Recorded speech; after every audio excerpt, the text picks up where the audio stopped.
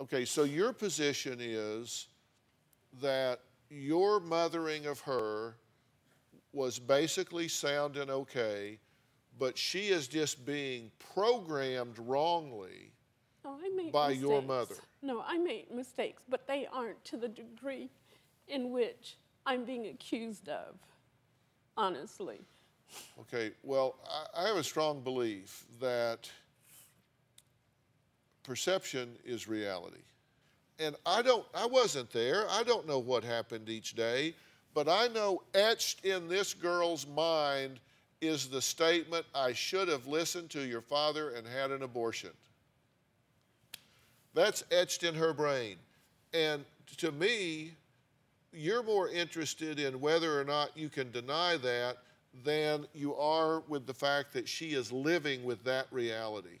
But whether you deny it, said it, didn't say it, remember it, a mother would be really concerned that that's what she believes.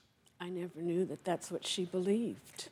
I mean, when you got somebody telling you that the, to get an abortion and then you don't hear the word "I love you," you tend to think nobody really does.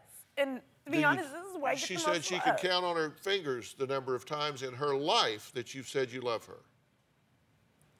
I'm, I'm truly sorry if that's the way you felt. Do you love your daughter? Very much. That's why I'm here, Dr. Why does she not feel it? Why do you not tell her? Why does she not hear it if you tell her? Shouldn't these be the questions you're asking yourself? I don't see any concern at all, other than d- don't judge me. I'm, I, I didn't do those things.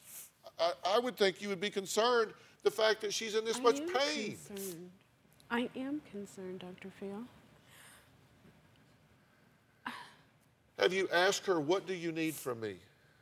No, because she and I don't have that type of relationship. She will not come. You're me. here now. Ask her that question. What do you need from me? What do you want from me, Alicia? I want you to stop denying a lot of stuff, and I want you to be there for me as a mother. I want to feel loved by you. That's all I want from you. Be you. there how? Because I want to. I want to talk to you sometimes. I can't share with you. I have to share with other people. Those Why are not is my it you mothers. feel you can't Because share you've with always put up this front. You put up this front where it's. I don't know who I'm talking to. I don't know.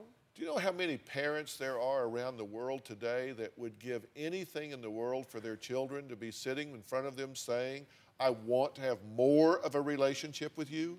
Your daughter is in front of you today, begging you, pleading you to take down this wall, this facade, and say, Come on, uh, d- d- plug in here. She's in pain. Do you care?